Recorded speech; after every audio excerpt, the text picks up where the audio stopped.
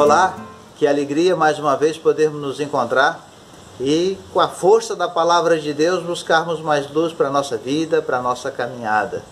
Esse mês de agosto, mês vocacional, nós somos chamados a olhar também um pouco mais para aqueles sonhos que nós temos.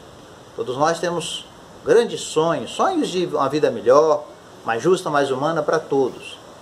Pois bem, vamos refletir esse mês sobre o Sínodo da Amazônia onde o Papa Francisco revela para nós quatro importantes sonhos e nos convida a sonhar juntos. Porque quando a gente sonha junto, a gente principia, tem um começo de uma vida melhor para todos. Ou seja, vamos transformando o sonho em realidade.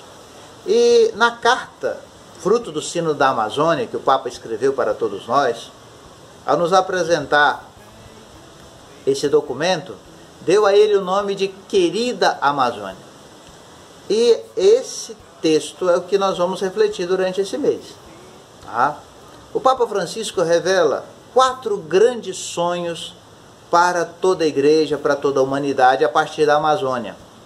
O primeiro sonho é que possamos lutar juntos pelo direito dos mais pobres, pelos mais fragilizados ou seja, cuidando dos últimos que vamos ter condição de atingir a todos. Então ele nos convida a sonhar, né, a lutar juntos pelos mais pobres, pelos mais frágeis, pelos mais sofredores. Um outro sonho de Francisco é esse cuidar dessa riqueza cultural que nós temos na Amazônia, cuidar dos povos amazônicos, ou seja, dessas populações originárias que deram origem, estão presentes em nosso país e nesse momento sofrem demais. Um sistema até mesmo de dizimação das populações indígenas.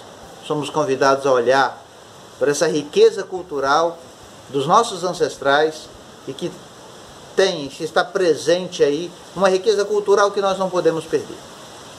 Papa Francisco ainda sonha com cuidado também das belezas originárias do nosso país, os rios, as matas, as florestas, os pássaros, os animais, cuidar dessa imensa variedade, dessa biodiversidade que ainda até não foi toda ainda explorada, que tem uma riqueza de em medicamentos, tá? E também assim com toda uma beleza que a gente não pode simplesmente deixar acabar. A Amazônia é um patrimônio de toda a humanidade nesse sentido de que, para ser preservada, para ser cultivada, é esse paraíso que Deus nos deu e a gente não pode perder. E ainda o Papa Francisco nos apresenta um outro sonho, que é um sonho também com comunidades cristãs, que deem à igreja um rosto com traços mais amazônicos. Ou seja, que a igreja tenha mais o rosto do seu povo, o rosto da sua cultura, uma igreja que seja mais próxima das pessoas, capaz de envolver a todos. Que esses sonhos alimentem a nossa reflexão durante toda essa semana. E teremos também ainda, dentro, desse mês vocacional, a Semana da Família e tudo mais. E o texto bíblico que vai começar a puxar a nossa reflexão é aquele texto onde Pedro se encontra dentro da barca, mas a barca ela é guiada, é, não só guiada, ela é atormentada pelos ventos, e, e Pedro, com medo, encontra com o Senhor. E pede então para poder ir sobre as águas, caminhando ao lado do Senhor. Só que Pedro começa a afundar porque a sua fé é ainda pequena. Então, às vezes também nós somos desafiados na nossa pequena fé, tá? e aí às vezes começamos a afundar, começamos a achar que estamos sozinhos, que estamos abandonados, mas Jesus segura na mão de Pedro e nós também podemos segurar na mão dele para seguir adiante com confiante, com confiança. Tenhamos fé. Deus está conosco e caminha ao nosso lado. E a perguntinha que vai nos inquietar, nos provocar, nos mexer conosco essa semana é: nossas comunidades têm se preocupado com os mais pobres, com os mais fragilizados? O que, é que a gente pode melhorar? Sigamos juntos.